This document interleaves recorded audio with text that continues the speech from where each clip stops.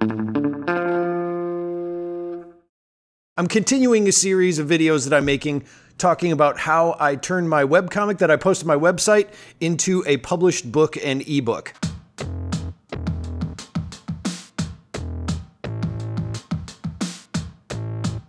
So I wanted to talk more about how my webcomic transformed into something that was more than just something I posted on my website. It was a thing that I could find multiple uses for. Now, when I draw the comic, I know that it's going to be used for something that I would publish as also a book and put it on multiple media websites like webcomic sites. When I started out, it was just something I drew and posted. And now I draw one thing and it's being turned into several things at once.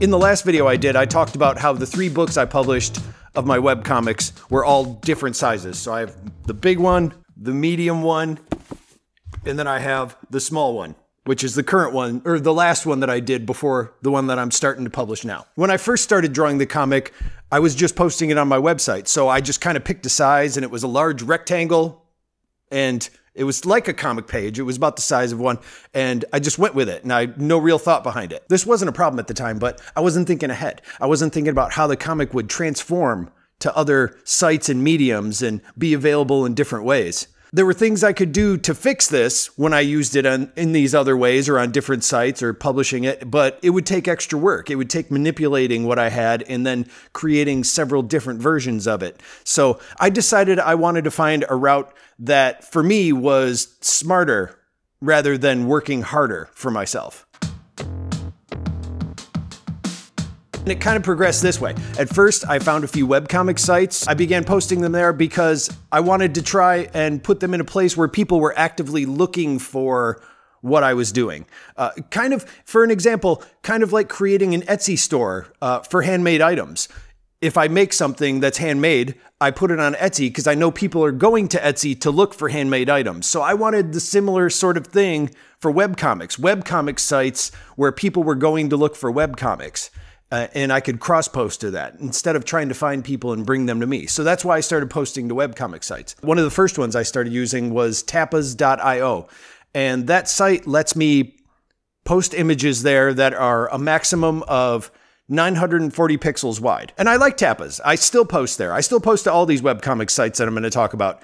But uh, they offer a monetary reward system and uh, they also share ad revenue on the site. When you sign up, you can get ad sharing. If you get more people to view a comic, when I do that, I get more ad revenue. It's kind of like the same way with people visiting a site that has ad revenue on it. So that part's really cool. Also, a side note on this, and it's something that uh, just I think about. It's uh, they also have on the webcomic site a section for authors, for stories, for just readable text, for people writing stories. So people can post their own stories or their own like series or release a chapter at a time. So, like, they don't need to do artwork. They can actually just write stories. Instead of just web comics, it's also for writing. So, that's kind of cool. And they get the same monetary support value and all that kind of stuff on Tapas. And I think that's pretty cool. Plus, a lot of the artists that I follow, a lot of the comic strip artists or web comic artists that I follow will post sometimes just like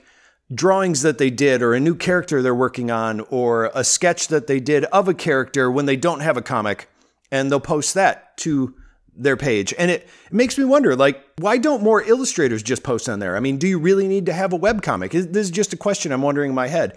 Uh, and you'd get the same sort of fan base people going there looking for artwork i mean a lot of it is for the artwork even though it's for web comics people also enjoy the artwork that people do so I'm surprised I don't find a lot more illustrators on there posting stuff and collecting the ad revenue, finding fans. That's just a thought that I had in my head. I actually just thought of that while I was talking about this. Webtoons also has a maximum size for the comic that you can do, which is 800 pixels. So it's a little bit smaller than the 940 pixels on Tapas. So Still trying to figure out the size here for my comic at this time. Uh, Webtoons also has, by the way, a ad sharing program, but it's more like the way YouTube does it. You have to have a certain amount of followers to apply to be in it, and then they'll let you know if you're approved or not. Then on top of that, I had started using Instagram actually about maybe halfway through doing the first book, and the size I used for the webcomic at that point in time in the big honkin' book was very large. A lot of the time the top or the bottom would get cut off. So I needed to start rethinking what size my comics should be. But I wanted it to be still in this rectangular format not in the square short format. I didn't want to change it that dramatically. So now, just to get where I'm at in this point when I'm trying to find the dimensions for the book that I use and what size comic I should use, now I had three different sizes I had to choose from. I needed a size that would work with all of these different places and also still look good on the website. I was looking for something that was still kind of a long rectangular shape. I decided to go with the format that would work best with Instagram, and then I'd figure out a way to work it with these other formats and also the book. The size I ended up going with is uh, 1000 pixels wide by 12,000 pixels high. So a little wider than the webcomic sites that I post to. And there's a reason for that, and I'll get to that in a second. So I messed around with a few different sizes, and when, like I said, when I originally started the book, the first book, it was a lot larger. I think it was like 1200 by 1600 pixels. I draw the comic in a program on my tablet called Medibang Paint, which is the one that has the comic book kind of presets already. It also helps me create uh, the panels for it really easily. I draw it at a resolution of 300 pixels, which is also, thinking forward, a good pixel rate for print. So it'll make it look a lot cleaner and crisper and, you know, it'll come, it won't be pixelated. So I know I said that I chose a larger size than the webcomics.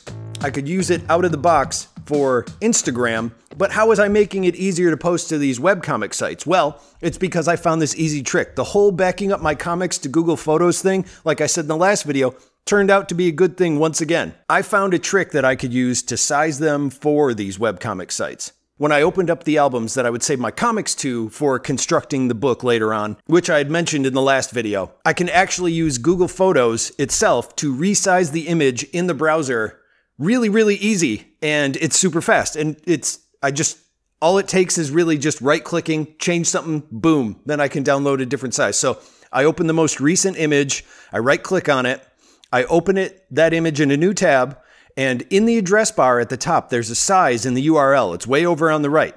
So I find that and I change the URL in that section to, for the first one, which is the 940, I put in W940, replace the size in there with that. And that's the width for Tapas. And then I hit enter and I download that. And then I would switch it again to W800, hit enter and download that for the Webtoons site.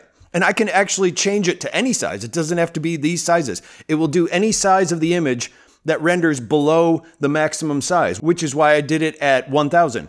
So I could shrink it down to these other sizes and the 1000 width size works on Instagram. It renders the photo and resizes it just like it would in Photoshop or GIMP or any other image editing software. I really love this trick. It's something I've been using for so long. I don't even remember how I figured this out or where I heard about it, but I've been doing it for as long as Google Photos has been around and I use it for so many other things. But this is how I use it for the webcomic itself. So after these sizes, I also had to mess around with the size of the book because now uh, I was putting them in this large book, but they got smaller towards the end. And you can even see as I was messing with the size here, it's starting to get smaller. And I've got this big extra section down at the bottom. I had also, during this time, printed a few like zines at home out of uh, folded sheets of paper. And a folded sheet of paper is eight and a half by five and a half. So the second book that I published was eight and a half by five and a half in size based on that. And it was all right. I didn't mind it. It was okay, but there was still a little extra space. It kind of was doing the same sort of thing as the last one, whereas I had I had a bunch of white space underneath. I had shown in the last video too, I collect a lot of these comic strip paperback books from like the 70s and 80s where they would take newspaper comics and put them in a collected sort of book so I went over to KDP and I looked for the smallest size they had. And that smallest size was 8 by 5 This is the smallest type of book you can get. I showed you in the last video, I dragged the folders from Google Photos into the Google Doc that I uploaded from the KDP template. And I filled in all the months for the past year. So they're ready for me to download from Google Docs and get ready to upload to Amazon KDP. But still, I have one more thing to do before I do that. I mean, of course, I still need to create the cover. I, I, have all the pages. I have all. I've been doing all this work, and then at the end, it's like, oh, but I still need to create one more thing. So, I don't know why, but this part is always the most it makes me the most anxious. I get the most anxiety about this. Uh, maybe it's because it's the way the book is going to be represented. It's the first thing that people see. When, regardless, I'm like telling very personal things in the webcomic themselves, but the cover is the thing that's making me anxious. I mean, this is going to be what I show when I say to people, hey, I created this book. You should check it out. Maybe I'm being silly. I don't know. Again, what I did to uh, kind of help me with this is I would reference the old comic strip books that I have. I mean, I like the styles of these books. I collect, uh, I have shelves of them back here, and I, I like the way they look. I, I like having them around. I, I just like to open them and go like, oh, that's really neat. I mean, they knew what they were doing. They put a lot of these together, so why not kind of just reference this and do what they did. Over on KDP, what I did too is I downloaded the cover template that they had, and I really just do this to figure out the layout because they have things they put in there like the ISBN barcode. I just need to know where the bleed areas are. It's going to be 8 by 5 because, like the pages inside, the cover is going to be around that same size. KDP actually has a cover making tool built into the upload process because the cover making tool, when I upload it to that, it will tell me if there's any formatting issues or if something is blocking something or if it's not going to show up when they cut it for print. It's kind of really like a catch all for mistakes. One of the questions I got asked when I started recording these videos is if KDP is a print on demand. So the answer is yes, paperback books are on demand on KDP. When I upload them, they are only made when people buy them. They will sit there, the files are sitting on the server, and when they're ordered on Amazon, then the printer gets them, they print the book and put it together. Amazon takes care of the rest. So the printing and the shipping, that's all covered by Amazon. I don't have to do anything. And also, I get an author page. So on top of that, when I create a book on Amazon, I automatically get an account as an author. So I have a, when I do more than one book, I can send people to my author page and it will show the books that I have. And people can scroll through and see all of them, or I can have a link to that from my website. On top of it being print on demand, I think I also mentioned in the last video, uh, I don't have to just sell my books on Amazon. If I wanted to, I could buy my own books, have them shipped to me, I can sell them in person, or I can take care of shipping and posting and setting up a page for it on my own website to sell it from. I can order author copies. It's a button that's right next to the book that I have, and I can choose which one. And I can order up to 999 copies of the book at the printing cost that Amazon has rather than the markup and the royalties and everything else that they take care of. But I also have to pay for shipping. So that part kind of sucks, but it's still a better price and I can mark it up for whatever I would like it to be when I get it sent to me. I also mentioned in the last video that KDP offers a thing called expanded sales. Expanded sales have the possibility for my book to be bought and sold and traded and ordered in bulk purchases for stores and libraries. So I know it sounds crazy, but I've actually had that happen. The first two books, I think, I set up for expanded sales, and the first one actually got sent to a library and a store or a couple of them. I don't remember. It was a few years ago, but I would get these notifications of sales and it would say expanded sales. And it's like, oh, yeah, that's right. I checked that and I look into it and it's like, oh my God, it got sent to like on the West Coast somewhere. A couple of bookstores bought it. That was kind of neat. Problem is, is the royalties are much smaller when doing it this way. So, uh, and I'm assuming that's because of the added shipping cost and putting it in a catalog and whatever else they have to do. I'm sure it's it's not that lucrative of, of an option, but it's still pretty neat to think that the book that I make is available in other stores and libraries.